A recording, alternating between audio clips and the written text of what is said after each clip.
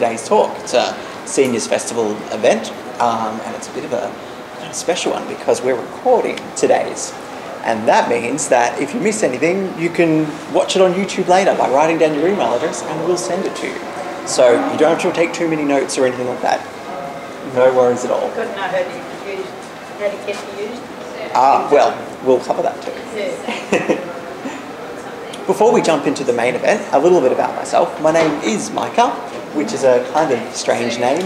My job here at the library is digital literacy officer, and that basically means I get to talk about technology a whole lot, which is great. I love that sort of thing. Um, I, in my personal life, I love being outdoors, playing soccer, and playing lots of sporting events, that sort of stuff. But I also love to read, and I'm really passionate about technology, and that's kind of what's brought me here today. Today's topic is super broad, really, really broad. We're going to kind of cover internet skills and playing on an iPad in general, as well as lots of safety online, shopping on the internet, what to look out for, as well as the cloud, what it is, what it means, do I want to use it, everything like that. To start us off, we're going to look at safety online, which is this one. Now, internet safety is, of course, it's the most fundamental thing. It's kind of, it's always in the news, this happened, that happened, passwords, passwords. The kind of main thing that we look at is creating a good password. It's really often your only defense, really, creating a good password. Uh, we need passwords for pretty much every service that's ever been made. So chances are you've got an email password, an internet, uh, internet service provider password, an Apple Store password. There's thousands of different passwords that we're supposed to remember. Seems like that.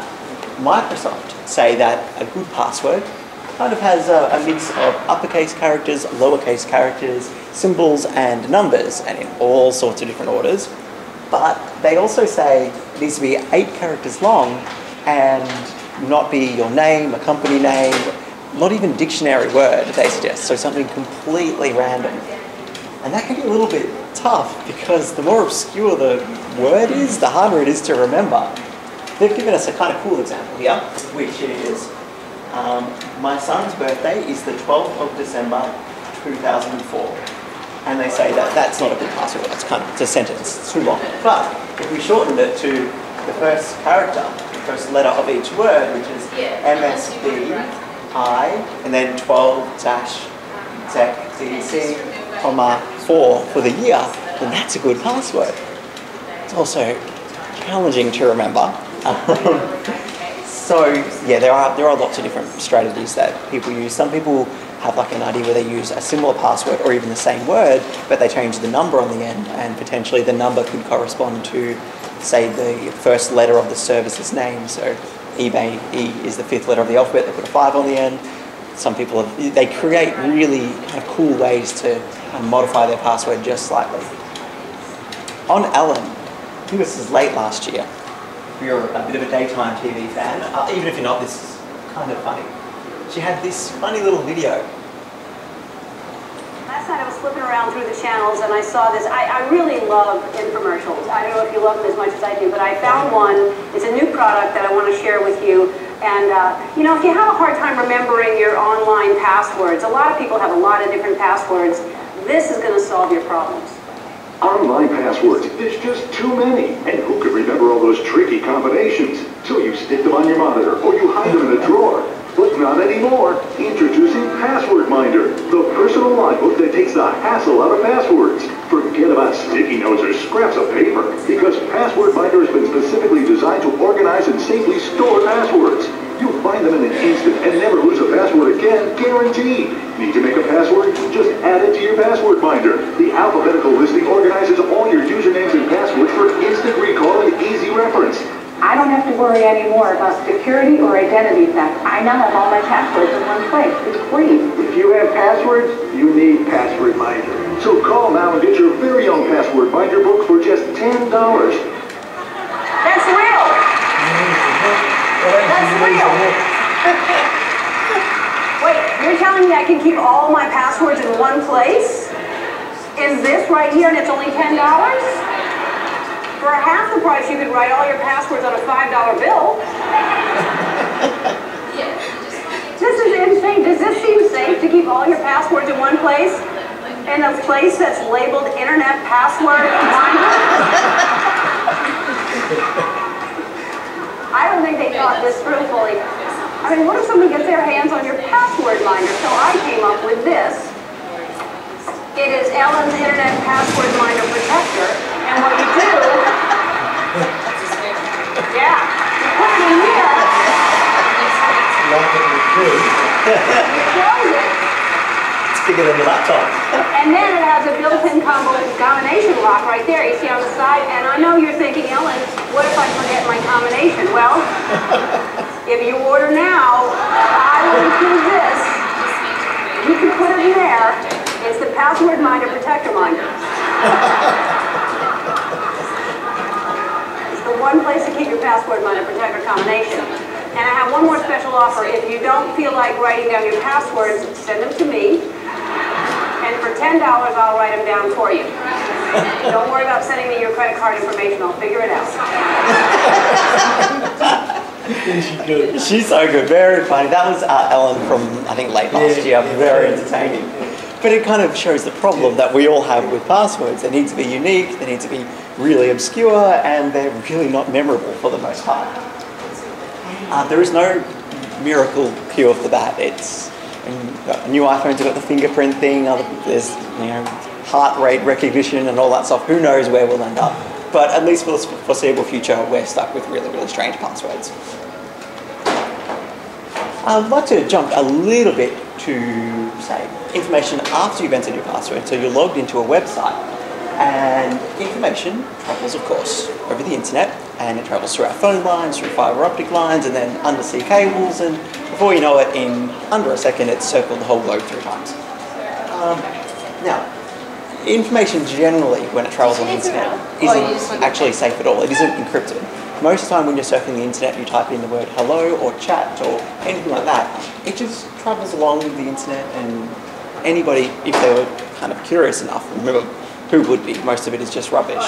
Um, they could intercept it if they wanted to.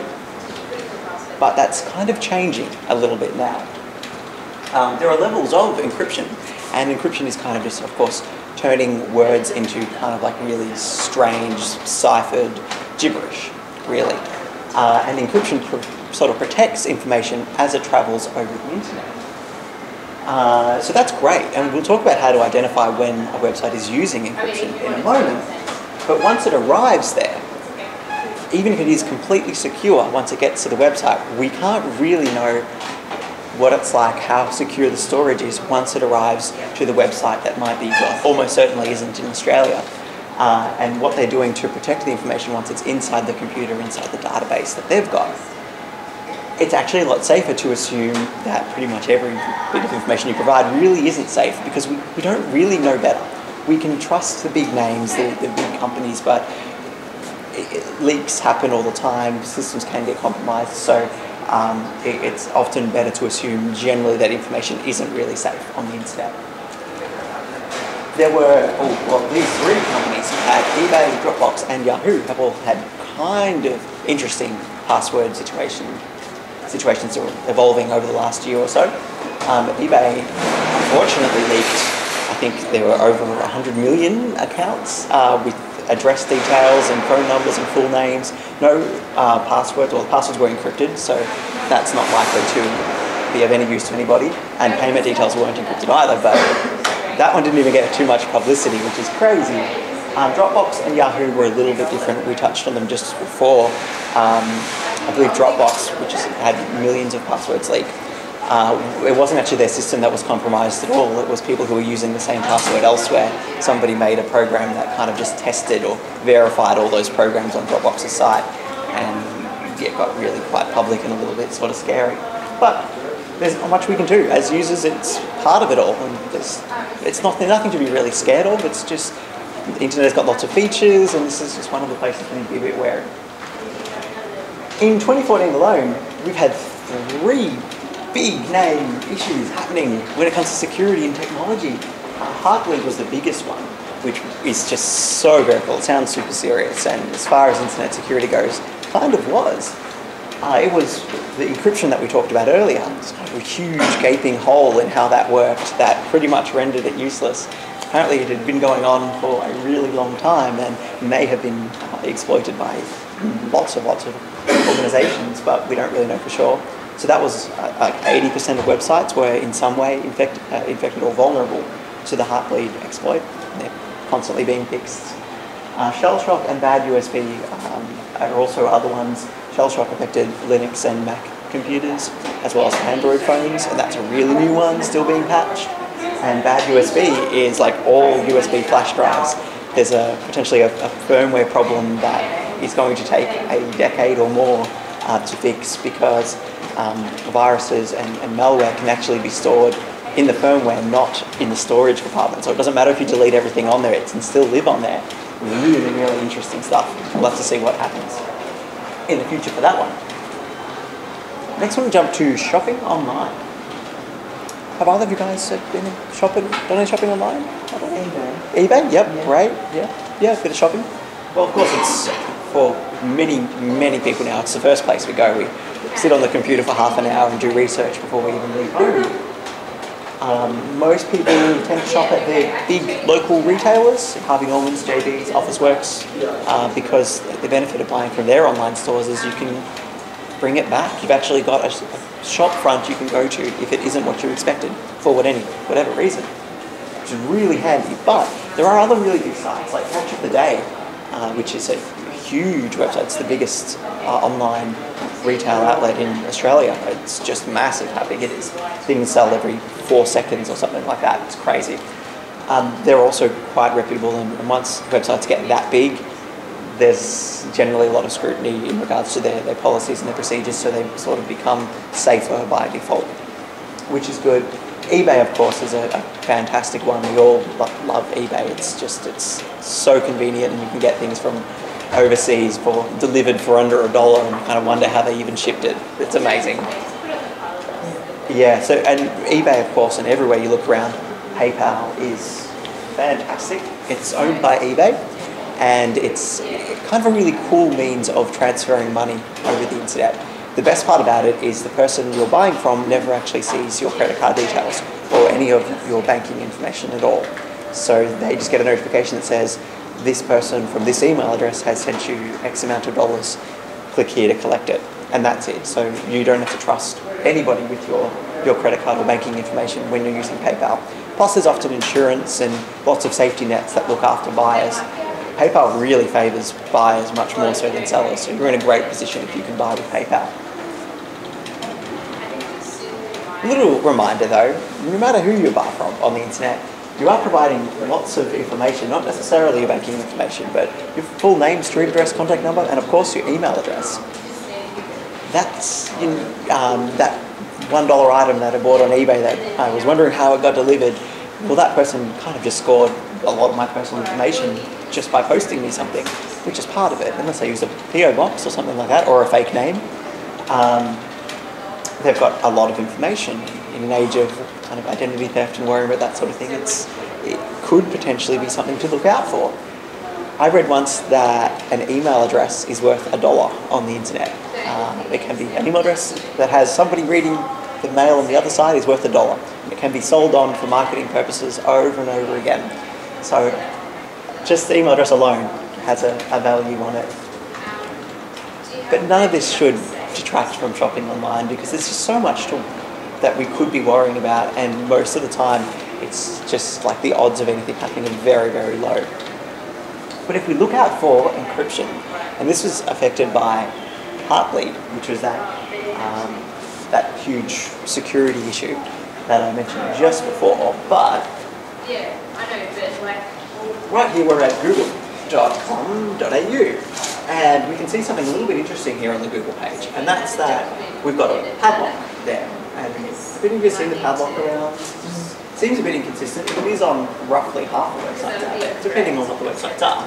And it also says HTTPS. That S stands for secure. Uh, and that means that the transmission between you and Google is encrypted. So while technically possible for it to be intercepted using supercomputers and all that sort of stuff, it's really unlikely that there's somebody snooping on what you're doing here on this website. Google recently implemented this, which is kind of cool, um, considering the content that most people enter there might be like an electrician in Bayswater or something like that. It's not necessarily content that you think is particularly sensitive. But lately Google has really taken an interest in security. So every single one of your searches on google.com are encrypted. They're not. They're not being watched by anybody, which is very cool. If we swap to the next tab on our browser here, here we're at PayPal, and as we would expect, PayPal is a payment processing website.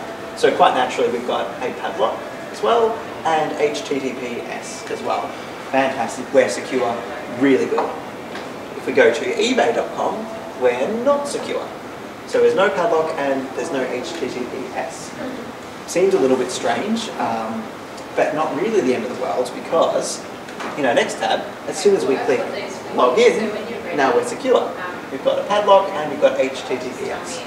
So what eBay is doing there, they've decided that no matter what you do when you're not logged in, it's not sensitive. You don't need that to be encrypted. Um, but as soon as you do log in, well then you've got street address information, you've got a whole range of different details about yourself that's worth encrypting. A lot of websites do this. They only encrypt it when there's a kind of a reason for it. Here on Catch of the Day, the shopping website you mentioned earlier, we're not encrypted, but we probably would be encrypted if we log in. This site gets a million or more hits a day, and I'm guessing there might be a, bit of a tax on the computer uh, to have to encrypt that many sessions for that many users. But sure enough, once we logged in, we would definitely be encrypted.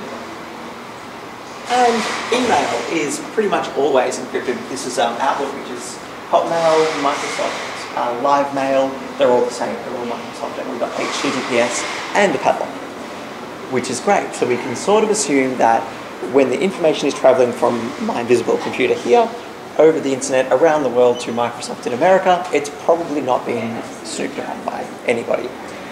Um, we don't know what happens once it gets to micro Microsoft's computer and their internal network, but we trust them, so we assume there's no holes over there. With that fantastically or terrifying and a little bit cool the Heartbleed uh, issue, which is all about the encryption of the padlock. This is basically how it worked. Uh, this is a fantastic comic by XKCD, which is a great web comic uh, sort of website on the internet. It's just amazing. But the way that exploit worked was this is um, Meg. Meg asks the server on the other side of the world, hey server, are you still there? If so, reply potato. And this is just a random word and they say, make sure the potato that you reply with is six letters long. And then in the busy, busy, busy computer world, it says, oh, user Meg wants six letters, and those six letters are potato. And then Meg does it again, it replies, Meg does it again, I want the word bird, four letters, Meg wants bird, and so the computer replies bird. Now, Meg's getting a little bit creative here. She's noticed the pattern. She says, hey computer, are you still there? If so, reply hat, but reply hat in 500 characters, not in three characters. So the computer interprets it and says, the user Meg wants 500 characters, and they're the word hat. He gets confused at this point and goes, hang on, the word hat is only three characters long. I'll just give Meg the next 500 characters that, 497 characters that are in my log. And then Meg's got a little notepad and she's writing all this down. In the computer's log, we see all sorts of really kind of cool and probably information that we wouldn't want to be leaked out. But there's um, someone wants to change the password to this. Isabel wants to learn pages about snakes, but not too long. So all this information goes straight back to Meg, who's writing it down, and before you know it, someone has emptied the whole contents of the, the server into their own computer, and they've got everybody's passwords and lots of information. That's how Heartbleed actually works. It's crazy, and they only figured this out very recently, and it's been a, an ongoing thing for well, up to a decade or something like that, a really long time. But that's a great simplistic explanation about how it works. Apparently, it's been resolved now for the most part, so you need not worry about it. But it isn't a great example of things that we really thought were safe that we were just wrong about. Everybody thought SSL, the encryption was flawless. We're all using it, it's mainstream. But yeah, we just never know. Next up, we'll chat briefly about the cloud, which is totally inescapable. If the cloud is everywhere and everything nowadays. The best way to remember what the cloud is is that it's your own personal USB drive plugged into somebody else's computer. And that computer might be anywhere in the world. So let's say this is Microsoft's computer. They've given me a little flash drive and they've said, Micah, we like you this much, we'll give you a 10 gigabyte flash drive. So they get their little flash drive and they plug it into their computer and they write my, Micah's name on it. And with that, I can store my photos, videos, and all that sort of stuff. It works by having the internet connect the user with that server wherever it is in the world with Microsoft. So us little people, wherever we are, we don't have to be in Australia, we can be anywhere. We use the internet to connect to Microsoft server that has our flash drive in the back and we can access whatever we put on that flash drive from anywhere in the world, which is really, really handy, super handy. And it has lots of benefits. We can use the cloud for storing documents, photos, videos. We can put all our, our um, holiday photos into there and then easily show friends or add photos to it while we're overseas and then empty our memory card and know that we've got a backup in the cloud with Microsoft or whoever. We can do file device, files and device backups. A lot of iPhones and Android phones back up the whole device constantly onto the internet. So if you lose your phone, you can just sign in on a new one and everything just comes back onto it. Really handy. All our email accounts that we've all been using for years uh, are all cloud-based, especially the Microsofts, the Gmails, Yahoos, all of those. They all live in the cloud. You can sign in and out on all your devices and your information just synchronizes in contacts and notes and of course purchases on your tablets or um, your iPads. They're all part of, they're in the, your Micah's little, a list in Micah's little flash drive that says Micah bought this, Micah bought this, Micah bought this. So I can get them all later. But there are some good and bad things.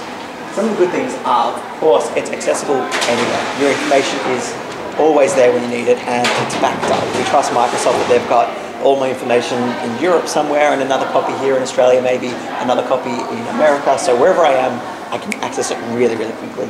And there's a backup if anything happens to either one. It's synchronized across all devices and platforms. I can delete a file on my iPhone here right now and it'll delete itself on my iPad instantaneously. So great, seamless, no need to copy files between places. Really, really good. Plus, it generally just works. There's no configuration, there's nothing to worry about, nothing to organize in advance. You can log into your cloud drive, your cloud drive from any computer anywhere in the world and access anything, which is great for if you are traveling and you've got passport, passport documents, insurance documents that you've got a copy on you, but if you lose that, then, oh, yeah, I'll get what you need. I'll just log in and grab it. Really, really handy for that sort of thing. But then there's kind of questionable parts to it as well we're essentially trusting a third party with our personal content, which is fine for the most part because generally what we're storing isn't really that sensitive. But it can be. A lot of people store things that they might not want other people to access. Um, so then there's, there's issues of, well, would any of these companies tell us if a government or a third party or anything accessed our information? They really might not. It probably would look pretty bad if they let someone either uh, intentionally or accidentally uh, access our information. Then there's things like um, retention of ownership of your of a, a, great photo you did and copyright and all that sort of stuff. Um, Dropbox has revised their their storage issues uh, or their storage copyright issues, but Facebook, I'm not sure if it's changed, but they used to have it that any photo you uploaded on Facebook of your friends or of anything becomes their property and they own copyright. And if they wanted to, they could put it on a huge billboard in Times Square and it could be seen by millions. And that's okay. We agreed to the 76 page terms and conditions and privacy policy. We all read it. Yeah, every word. So all that stuff, uh, they're, they're, things to think about. Um, we touched on who else is, is accessing my files because we, we don't know. And if we have passwords that accidentally end up in the wrong hands, someone can grab all of our files from our, our cloud storage and they just become theirs, which is an issue. And security as well, like with the information, my images as they um, travel over the internet, are they encrypted? Are they encrypted on the server? Is the information really safe? What precautions are being taken? All great questions to ask and all kind of things that are good to keep in mind when using great these great services because they're really handy, but you know, at the same time, good to be cautious. Any questions about the cloud? I know it's a, it's a, where to begin, right? It's a really complex one. Kind it's it's really hard not to use nowadays because it is part of everything. Mm. I've prepared a kind of to-do list on iPads here. So I wanted to share my iPad screen up there. And please interrupt me at any time with questions about regarding this or anything else. Because iPads are great for a few reasons. One of the main reasons is kind of what was also a little bit of a burden initially, but it really it's a really closed ecosystem. So viruses generally aren't really a problem at all on iPads. Um, really, really handy because nobody wants a virus, and that's something on a computer that we're all constantly worrying about. Um, so in uh, in the iPad Apple world, there's only one place to get applications from, and that's from the App Store. Because of that, well, that's kind of safe. Apple polices the App Store very, very closely. So, for the most part, I'll just share my screen. I just want to try and sign make sure that There we go. For the most part, when I launch an application here, this is Adobe Reader, which we probably, most of us might have at home. Um, this application can't function outside of when it's on the screen. So I'm using it, blah, blah, blah. As soon as I press the home button and quit, it can't communicate with any of these other applications. And that makes it sort of safe. So we know that Adobe Reader isn't going through our contacts right now and then sending them up over into the cloud. And we know it's not modifying core parts of the operating system because it doesn't have access to them. Which makes these, yeah, it, it's not a coincidence that we never hear anybody talk about viruses on iPads. They've got people, Apple's got people working on it very, very closely um, to be on top of that sort of thing because it would look terrible and yeah, uh, if it ever happened. But it sort of seems like if it was going to happen, it might have already. Excuse me, is that, you- you're saying on your iPad, does that apply to tablets that are not uh, Apple? Actually, not really. No, yeah, Ap- Apple tablets um, are sort of they're in a bit, they're a breed of their own. Um, they're really obviously very simple to use, but they're a little bit more pricey. Um, so Apple puts a lot of work into the operating system, and they're very closed off. Like it, it for a while, it was impossible to make. Um, let's say with the Skype application, if somebody called me from Skype, but the Skype application wasn't running on the screen, then I couldn't receive a call because there was no way for Skype to send the message through to bring it up on my screen. So that's a great example of an application that couldn't run in the background. It couldn't do anything, even though it would potentially be helpful, um, because there were restrictions in place by Apple. On Android tablets, which are made by Google, uh, there's a lot more that's possible. It basically, if you can imagine it, then developers can kind of do it. Um, so they can have things that kind of run at startups. As soon as you turn it on, something can pop up. That can't happen on iPads. Um, if you're if it was a phone and not a, an Android tablet, then you could make it so when certain person calls, send them to voicemail, or there are like core things that can change on an Android tablet, which is great because it's an open platform. It means you can be as creative as you want to be, but it also opens the door for viruses and, and negative things to end up on your device. Um, a lot of people who really love computers and technology end up with Android tablets because they want the freedom and the flexibility, whereas many people who just want a device that kind of just really always works um, end up with an iPad. They're easier to learn and they're um, they generally don't break as often, in my experience at least. Um, so I have an iPad um, because I love I love the simplicity. Despite being a massive nerd, and I probably should have an Android tablet as well. I stick to an iPad because I need it to work. When I'm up here talking to you guys, and I need it to not crash on the screen constantly, and, and I trust the iPad to do that, which is great. Um, we mentioned getting apps is all done through the App Store, which looks just like that. Have you got a, is that an iPad? Have you got that? That's And a. I've only got this animal. Oh, yes, This yes. is, this is just an old Oh, Aldi, great. Yeah. that's all. Yep. Yep. Android. Android as well. Yep. See, the, the Androids are great. If you can do it, do things on an iPad, you can pretty much do it on an Android as well. So there's an app, a comparable app for everything you can do on an iPad. You knew how to get it. If you knew how to get it. Well, on Android, there's the Play Store, which looks like a. What depends on the the version you've got. Yeah. Yeah. I don't even know what it is. Lots of them here. So, obviously, here. To Play Store. Make sure we've had. Yeah. Yeah, pick it up on. Are you Yeah, oh, on the right, the right one? at home. Oh, yeah, cool. So,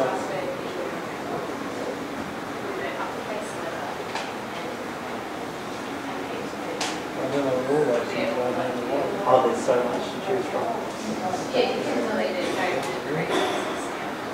Not very responsive, is it? Have you had it for long? Yeah, twelve months. 12 months? Okay, so let's go to uh, Wi-Fi, which is on. We go to Wi-Fi.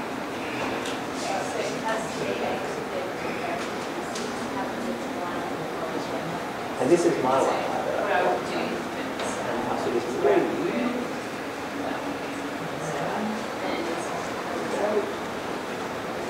That puts you on the same internet that I'm on. Uh, So now we go back to your Play, Store icon. Go. That. There we try. You'll get the Play Store. So the Play Store works actually in Oh, yes. pretty much exactly the same way as the App Store. It looks a little bit different because it's Google's version, uh, but for the most part, you, you have a search box generally in the top right corner or along the top, and you can search for any applications that you're interested in. A great one that I use is, um, is Flipboard, which is kind of like your own personal magazine that I'll, I'll show a little bit later. But for fun, along the bottom here, we've got top charts. Click on top charts. We've got oh, kind of a nice list of what everybody else seems to be downloading. We probably have got, no, I think it is still called top charts. Oh, cool. Um, you can press this one. You don't have to do it on your main one. Yeah. This is great. You can do movies, TV, music, books. You've got the opportunity to get any of those through the same place, which is really cool. I mean, it's a different application, so that's actually even easier. New apps and very popular. Yeah, yeah.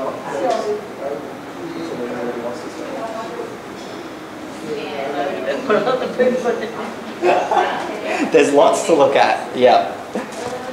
Yeah. So let's say um, I'm looking in the middle column here for an application that looks like a little bit of fun. All right.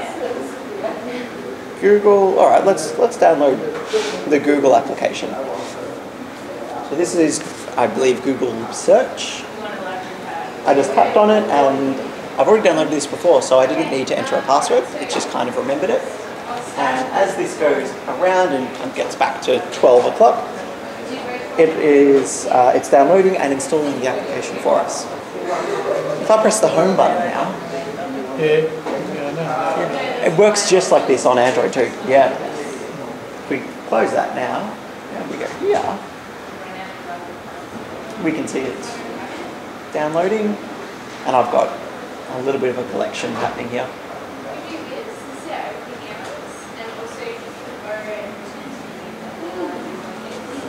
It's got fast now.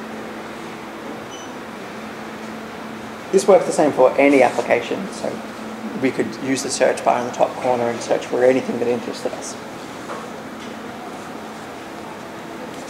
So it's telling us that we can talk instead of typing. I like that. Very cool. Yeah. How do you get that? Talking to them. We'll sign in later. So, tap the mic button to try it out. So, ooh, as soon as I tap the microphone, it's asking me if I would like to let this application use the microphone. That's a kind of nice little nifty feature. So we know that applications aren't listening to us when we don't want them to because we have to grant them access in the first place. cute animal pictures.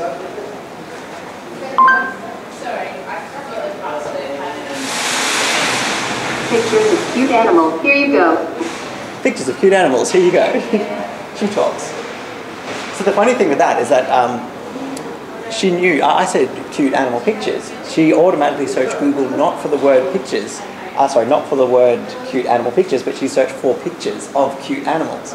So she picked up what I actually wanted and is showing me all sorts of crazy, cute things. How come she doesn't pick up what you're actually saying to us as well? She's only listening when we want her to listen.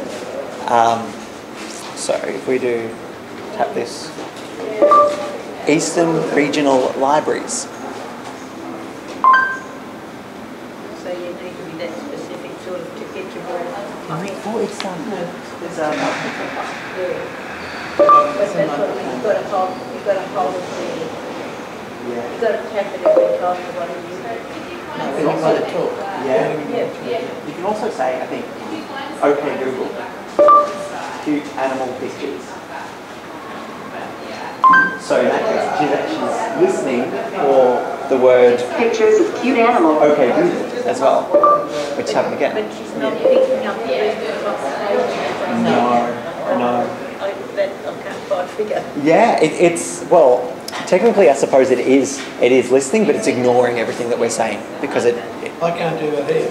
you can, I think, in Google, in Google now. in the Google now.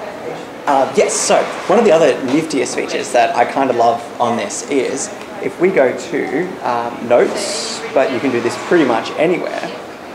Notes. We'll do a new note. Okay.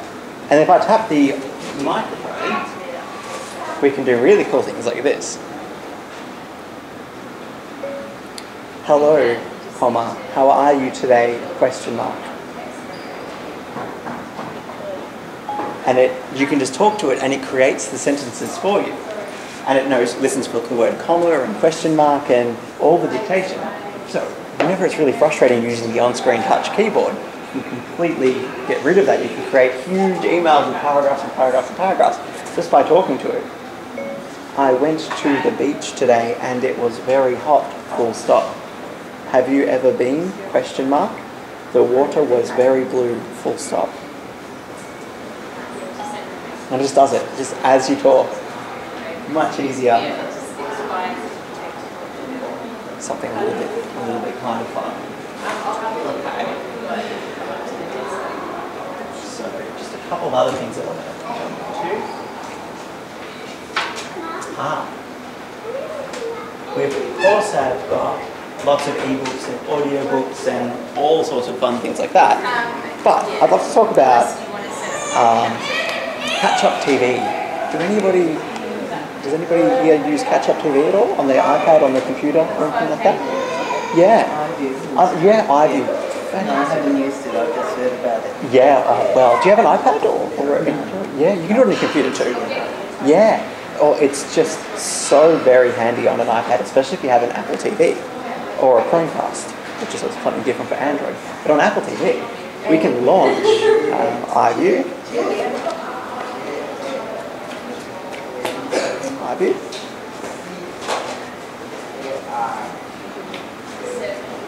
So we can be sitting down on the couch at home with TV on in front of us and press play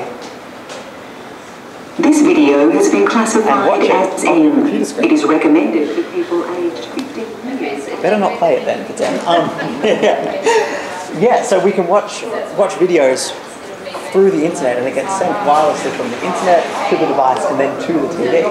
And this happens with How do we get it to the TV? I can understand how to get it onto the yeah.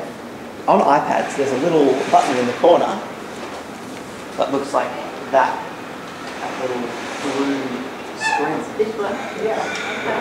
Tap that. Never seen that. Where, where you going then on that? This is a, it's actually only an iPad feature. So it's, Oh. yeah, they come on No, yeah. I want that. Yeah, Android. How do we do it with an Android? There's something called a Chromecast, which is made by Google, and it lets you do something really similar. And buy it through. yeah, it's um, it's normally forty nine dollars at JB Hi-Fi, but sometimes it's on special for twenty nine. Yeah. Um, so yeah, maybe really keep an eye out because it's it does just almost 11 centi. Wherever you see this icon, yeah, you can send The content way to it us. comes up on Catch of the Day. There you go. Catch of the day. Brilliant. Brilliant. So yeah, this is so handy. If you accumulate a massive watch list like I do, um, and feel like you're really falling behind, it's fantastic to just sit in front of the TV and go, okay, I watch that one, and then that one, and then just queue them all up and go for it. Really, really cool. And one other little application is Flipboard every day I'm a little bit addicted. I wake up in the morning and I go on Flipboard. Flipboard is kind of like the newspaper, except it's half magazine and it's completely live and constantly updating and free. So we can set up topics that we're interested in. And they're like Question, when it's not free, how do they charge you? How do you pay? because oh well it's always free um, this app is free and has always been but they ask them to show some ads every now and again Yeah. so if we click on uh, let's say the technology or maybe let's go what's hot in the top here this is the what's hot magazine just changes itself completely manages itself we can flip through it just by turning the pages in the book Yeah. and maybe if we keep flipping we'll probably get an ad sometime soon but not too often, clearly. Um, if any of these were articles that we were a little bit interested in, uh, something about The Simpsons, something about a computer, we can just tap on them and we can read it just like a magazine on the screen. Just like that. And then there's a back button in the top left corner. So this is super handy where you can just flick through, look at the titles. This is definitely on Android too. It works perfectly on Android. Um, so I've got topics for all sorts of different things that I'm interested in. And so Hey, if we go technology, um, I, this is the one I read every morning. I roll over in bed and I'm like, okay, let's see what's happening in technology, and we can see, yeah, all this, all this fantastic stuff. I've also got ones on the previous page for National Geographic. There's some for photos. There's the Age, ABC. You can make these for any topic whatsoever. So you might not, know, you might not need to buy the paper if you can have your own personalised paper that has all the topics that you're interested in, including um, the Age or the Herald Sun or, or whatever your favourite pa- paper might be. And the crosswords. Maybe. I know that in the app, in the, the Age app, there is the crosswords. Yeah. So this is yeah, super duper cool. And there's one last app that I would love to show you, and that is this is uh, Skywalk. If you like the solar system and you like and looking up at the stars at night, this is a great one. Not because because there are those apps where you go like this and you look around, and this one's a little bit different. This one has the whole solar system sort of programmed into it, and you can not on Android. no, it's not an Android. Well, it it? might be. I'm not sure. Right. It might be. So here we've got the sun over there, and there's the moon. It's a little bit tricky to see. Let's go. Let's tap on Saturn over there because it's a bit. There's a lot more happening over on Saturn, and we can move around Saturn in three dimensions and see all these moons, and we can tap on any moon that we like, and then click on the information. And this is Titan. We get heaps of, there's photos, there's general information, all this amazing information, and we can move it around. And then we zoom out a little bit, so we get, we'll go back to Saturn.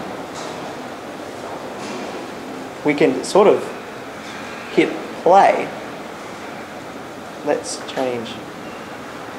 We can actually animate it. Let's go to days. So we can see how they all move around. And you can do this for the whole solar system and any part of the solar system. So when people say there's an app for everything, this is what they mean. It doesn't matter what you're interested in, there's, there's bound to be an app. And we're moving days. See in the top up there? We're moving just maybe a, a day, a day, maybe five days a second or something like that. And you can see how the Earth, that's the Earth moving, Jupiter's moving really slowly, Saturn really slowly as we move around the solar system. This is called? What's this called? this is called Solar Walk. Yes. Solar walk. Yeah. Looks like we're gonna have to get a, They said that one is a new one of well. I really recommend that app. I, I, yeah, I, I spent hours just reading up on all the different worlds out there. Mm, that was a paid one. That one cost I think two dollars or two dollars fifty. Well worth it. Really well worth it. Um, of course, there's also Overdrive, which is our ebooks and audiobooks. Go to our bookshelf and read any book that we like. This is free and part of your library membership, and you can um, download from anywhere in the world. So and it works on Android too. Uh, and you can download what, like 20 titles at a time, keep them for three weeks, and they automatically return themselves. So there's no fees or anything like that. You can, of course, too um, tap there and change the font size to make it as big as you like too, which can help Yeah. as well. Then there's also audiobooks and oh, there's lots of lots of online content available through the libraries and it's all completely free too. So, are there, is there anything I can Called what? That AirServer, isn't it? uh, that was uh, uh, to show it on the screen or the Overdrive. This is the Overdrive ebook. Overdrive. Overdrive, yeah. Overdrive, yeah, it's really cool. Yeah, there's thousands, thousands of titles available, and you can do it from home too. So, uh, on a rainy day when you don't feel like hopping in the car, it's a good way to access all your titles. Are there any questions about iPads? Yeah. Come back next week. Yeah. What to say, Dave? Yeah, well, yeah. What you can do too, um, we offer one-to-ones here, so you can bring in your gizmo and ask the team any question to the best of our ability. We'll we'll work through it with you too. So these sort of, sort of sessions are kind of just like, here's what's available. Here are some of the coolest things. Um, what interests you? You can ask us at, at a one-on-one, and we'll talk you through absolutely anything. Yeah. Oh, I will just before we fly away. Um, display one other cool thing here. With the Apple operating system, you can go into settings, which on mine is the top left corner, but it's, it'll be somewhere on one of your home screens, and can go to privacy down here,